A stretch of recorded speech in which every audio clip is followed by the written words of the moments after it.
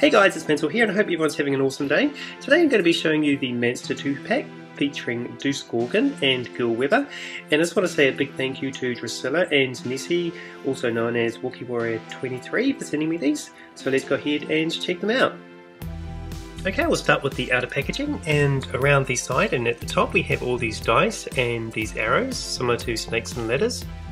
And around the window of the box we have this grey zipper in the shape of a coffin and in the top right hand corner we have the Monster High logo, Skullette, and at the bottom of the box we have the Manster logo with two dice, and beside that it says Deuce Gorgon and Gillington Gil Webber, and beside that we just have this great artwork of Gil and Deuce, and above that it says Gil's Not Included. And on the side of the box it says Monster High, and then we have this dice at the bottom. Okay, and on the back of the box it says Monster High, be yourself, be unique, be a monster. And under that it says sometimes a monster has to do what a monster has to do, and if that means ditching the ghouls for a night in order to save the world, then so it be. Now, just because the world in question exists only in the monster's mind and basement, or that its fate is determined by a series of opposing dice rolls doesn't mean bragging rights aren't at stake, and dude, you are so going down.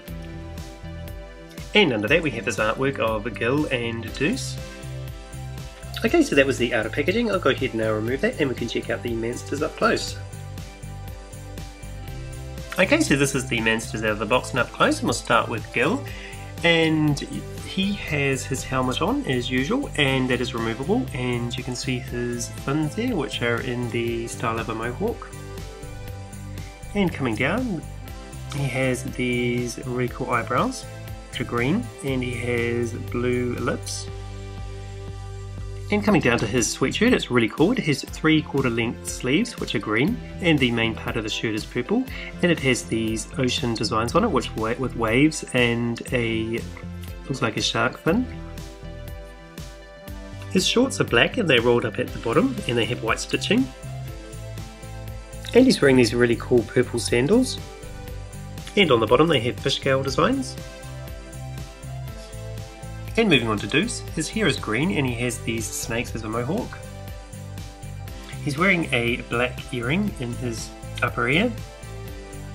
And just give you a close look at his face.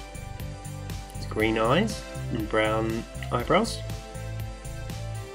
He's wearing this really awesome singlet which is black and green and it has this metallic snake on it. And on his upper left arm, he has his signature tattoo, which is done in green. It looks like snake scales. His pants are really cool. They're green and they have a plaid pattern on them, as well as the snake skin pattern, which is twisted around his legs. He's wearing these white sneakers with black laces. Accessories wise, he comes with a pair of glasses. And both Deuce and Ghoul come with diaries, and two doll stands. And both the monsters come with gamepads, and they're also playing board games and what looks like snakes and ladders. And Deuce is playing piece is green, and of course Gills is blue. And there is two cans of soda which have brains and skullettes on them. And there's also another little gaming board there with a red dice the background setting is in the basement and it has a little light there at the top because of all these bricks.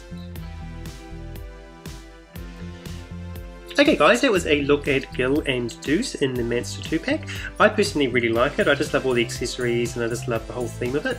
But um, let me know in the comments down below what you think of it. And until next time guys, thank you again for watching and please remember to like, subscribe and comment. Follow me on Facebook and Instagram in the link in the description below. And I look forward to seeing you tomorrow.